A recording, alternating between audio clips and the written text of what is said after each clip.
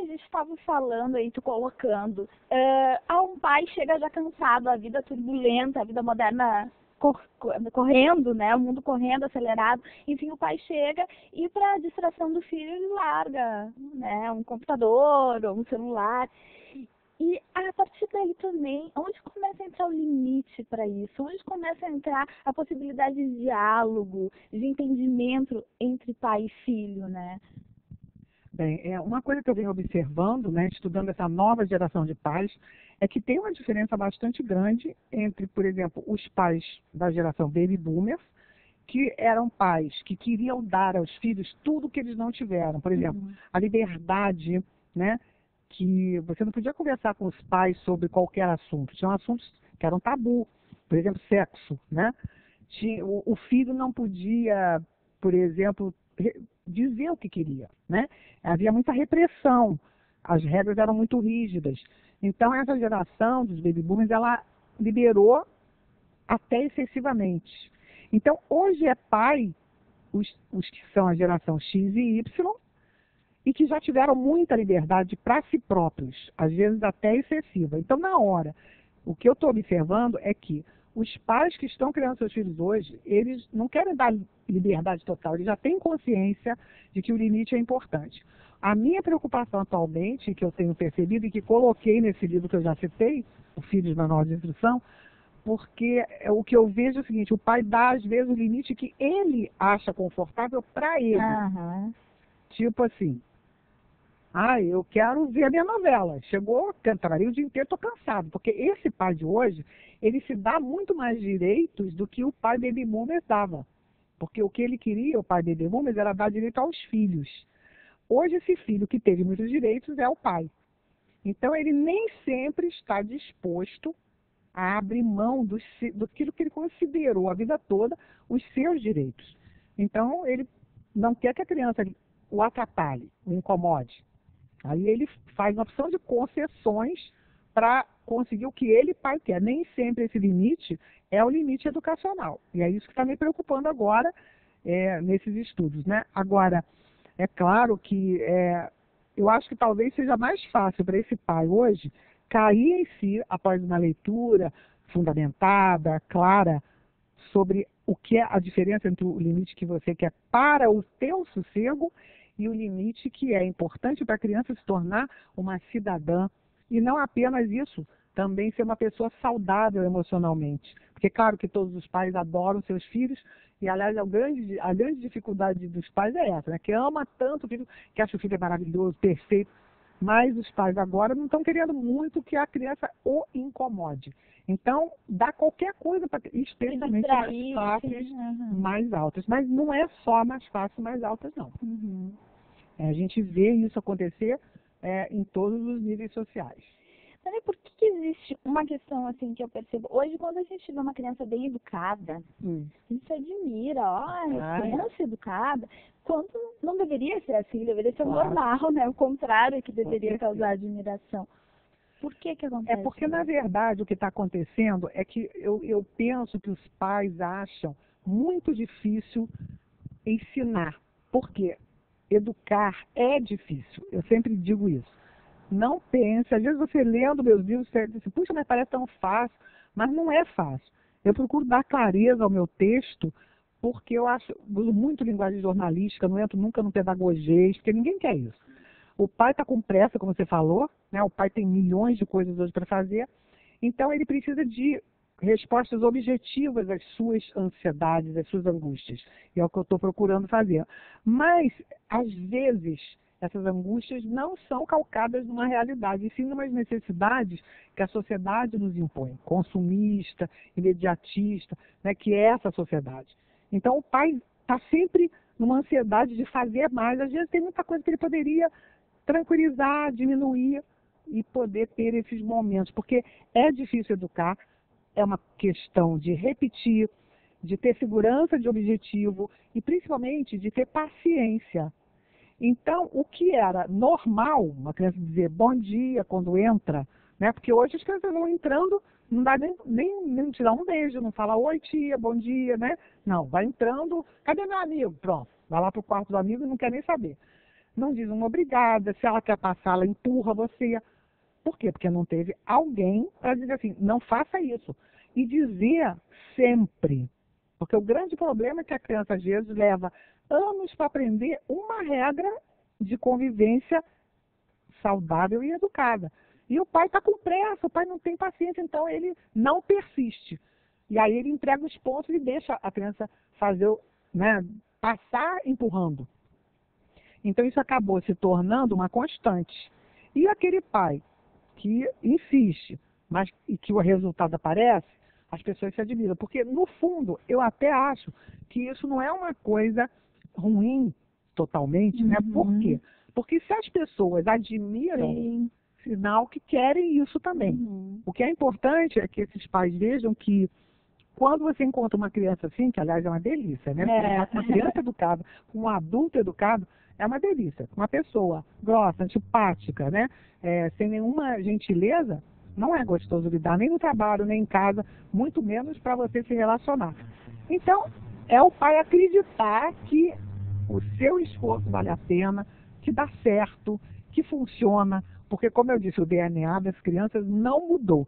Então, o que a criança precisa para ser feliz não é de muito brinquedo, não é de muito dinheiro, é de atenção, afeto, segurança dos pais e constância de comportamento do adulto, que é pela imitação que a criança mais aprende. E eu acho que é isso que você estava falando, a priorização dos valores também, né? Porque às vezes se coloca a culpa, eu acho que nem é a questão da culpa, ah, a culpa é da mãe, a culpa é da família, não, a culpa é da sociedade, mas a- é, talvez esse entendimento que a família ela pertence à sociedade e que ela fazendo seu papel Claro. também vai por causa da nossa transformação, né? Perfeito.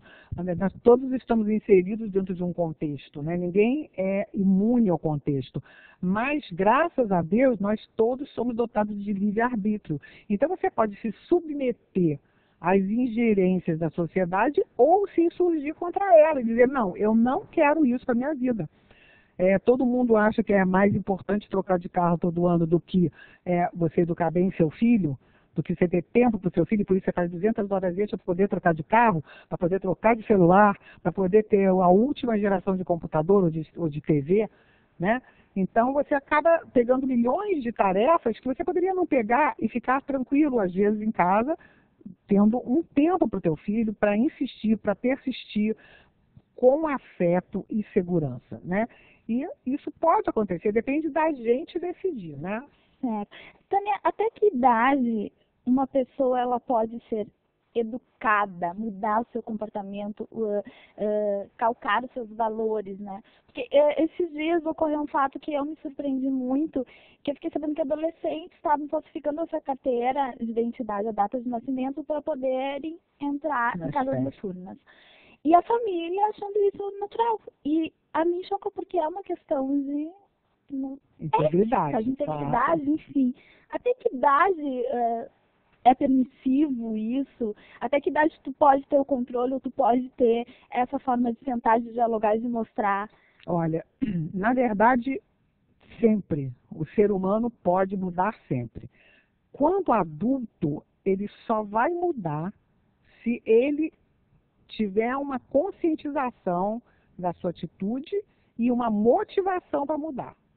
Porque, é, como Jean Piaget, que foi um grande estudioso do comportamento, da aprendizagem humana, ele diz o seguinte, que tem três etapas para aprender a moralidade. De- do nascimento até os sete anos, é a moralidade, é, digamos assim, que a criança aprende pelo amor que ele tem pelos pais. A moralidade do afeto, ele aprende porque assim, ele quer fazer o que o pai e a mãe aprovam. Ele quer que o pai e a mãe o aprovem sempre. Então, às vezes, os pais perdem sete anos, porque acham que a criança é muito pequena, não vai entender, ou porque, como você disse, ela está competindo tanto na sociedade que ela não quer que o filho seja bobão, acha que todo mundo faz isso, isso é bobagem. Infelizmente, até autoridades importantes já vieram nas mídias dizer que todo mundo faz, né? E isso é muito ruim porque o, a pessoa mediana, né, que não tem um nível de criticismo muito alto, acaba acreditando nisso, que todo mundo tem caixa dois, que todo mundo faz coisas erradas. Não é assim. felizmente. Se nós temos, sei lá, 20 milhões de brasileiros desonestos, nós temos ainda 160 milhões de honestos, que eu chamo de a maioria silenciosa, porque ela não aparece, né? O que aparece é o horror, o que aparece é a desonestidade. Então, como dizia Piaget, até sete anos a criança aprende pelo afeto, pelo amor. É a moralidade do afeto. Ela olha para o pai, para a mãe, o pai está dizendo, pô, meu filho, bacana isso que você fez. Ele vai continuar a fazer aquilo. Uhum. Então, veja, a atitude dos pais é fundamental nessa fase. Da, dos sete até o final da adolescência, entra em campo a consciência da criança que vai ao, aos poucos se desenvolvendo. Então, paulatinamente, ela começa a olhar o pai e a mãe não como aqueles heróis perfeitos que ela via nas primeiras, nos primeiros anos de vida, mas como pessoas falíveis.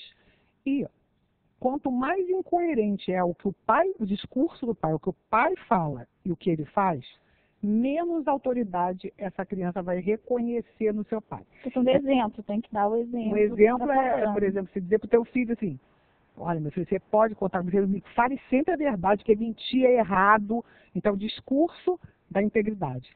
Mas ele percebe, às vezes, o pai pegar o telefone e dizer para um amigo do trabalho, olha, diz aí para o meu chefe que eu não vou hoje que eu estou com piriri. E ele não está com piriri e o filho viu. Então, ele percebe. Segundo Piaget, essa fase dos sete até o final da adolescência é a moralidade da cooperação. Na medida que a criança perceba essa é, constância entre a teoria e a prática dos pais e das autoridades em geral que as cercam, é isso que dá liderança aos pais e às autoridades, como os professores, por exemplo. Então, se ele sente essa coerência, ele adere, cooperação nesse sentido, ele adere e ele vai fazer o certo, né? Agora, se o pai, como você falou, acha normal o filho colar, ou ele vai na escola reclamar porque o filho tirou zero uhum. na prova porque foi pego colando, ele vai reclamar porque não que ele não está criticando o filho ter colado, tá, ter colado, e sim, uhum. ah, mas por que só ele que tirou zero se todo mundo cola? Então, essa percepção que a criança sente. Então, colar pode, né? Sim. Meu pai, é. mesma coisa isso de falsi tentar falsificar a idade não é de hoje. Uhum. Né? Até quando eu era adolescente, menina, eu já vi muitas, muitas pessoas fazer. Só que o grande diferencial é esse que você citou. Quando o pai e a mãe não acham nada demais. Uhum. E essa é a atitude que o pai não pode aceitar. Porque começa por aí que pode alguém achar que não é nada demais, mas que daqui a pouco claro. deixa de ser a falsificação para ir para balada, depois ele pode achar que ninguém vai ver que eu estou usando droga, que é proibido, mas não é proibido apenas porque existe uma lei, mas porque faz mal, porque causa dependência, que pode arruinar a tua vida.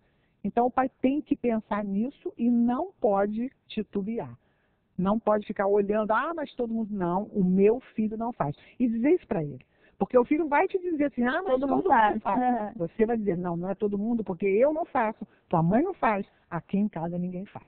Tá certo. Tânia, muito obrigada pela sua participação aqui no programa, por esse bate-papo, que eu acho que é muito enriquecedor e que esses valores têm que serem sempre né, levantados e discutidos. Obrigada mesmo. Eu que agradeço, espero ter sido útil hum. a quem nos ouvir, né? E mensagem final, é preciso que as novas gerações acreditem que a moralidade não saiu de moda. A integridade é um valor inestimável, muito mais do que ter um carro, uma joia ou fazer uma plástica. Tá certo. Eu vou pedir então para deixar uma mensagem por escrito para nós, para autografando, pode ser? Com Obrigada. Certeza.